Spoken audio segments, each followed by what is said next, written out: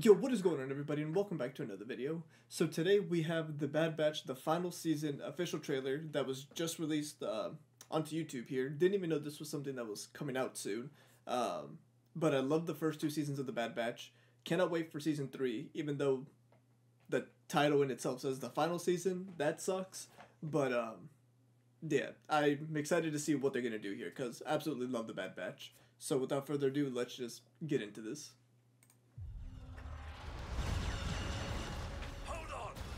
What do they got in store for us after I've got troopers on Tech's death? Seemingly death, anyways. Running out of road!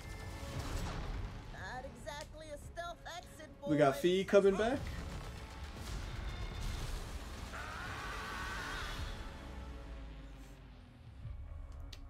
I thought that the end of the war Rex! would mean an end to losing more of our brothers. Love Rex.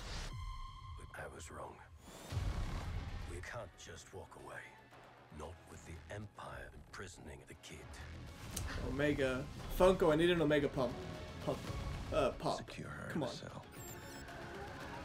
Open and then it looked like Omega's um waiting for us a long time. like a crosshair was a little sad there. It's Seeing not Omega. over yet. February 20. Oh, that's soon. Of greater importance to secure the future of this empire. Oh, we that Darth Sidious. Whatever is needed to accomplish this goal, you will have it.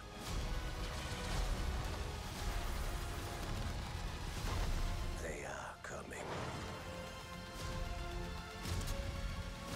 For Oh. all of you. Is that a little uh? Is that who I think it was?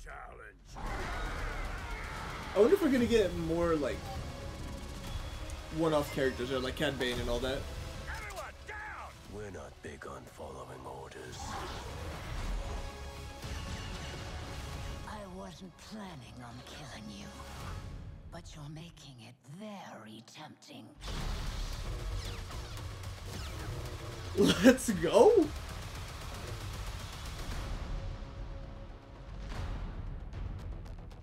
Okay, I abs three episode three episode premiere. I think season two was two episode premiere, right? So we've got a three episode premiere on the twenty first. That is absolutely insane. First of all, but Asajj Ventress coming back. I did not expect that, especially because um, I was told by like a lot of like uh, people who read the uh, Star Wars books and everything that she was dead. But there she is, apparently. And honestly, I could not be happier because Asajj Ventress was one of my favorite Clone Wars characters. So like, I will take any opportunity to see her come back in any capacity. Um,